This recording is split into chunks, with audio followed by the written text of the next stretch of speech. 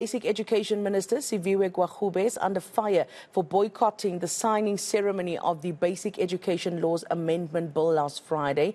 Gwarube said she was against the bill in its current form and had requested President Ramaphosa to refer it back to Parliament for reconsideration in terms of Section 79 of the Constitution. Now, teachers' unions are now calling for her resignation. Our reporter Pule Letshwiti-Jones is following that story and joins us now. Pule, good Good morning to you. What has the minister have to say?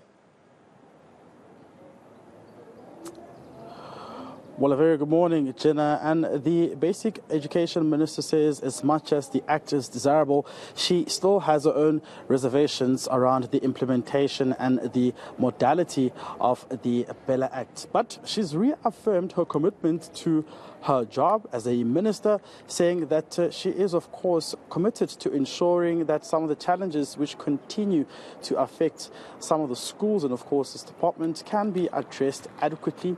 She says that uh, she will have to wait for the consultations around Clause 4 and 5 within the presidency to happen. And she is optimistic that common ground can be found in terms of resolving some of those issues.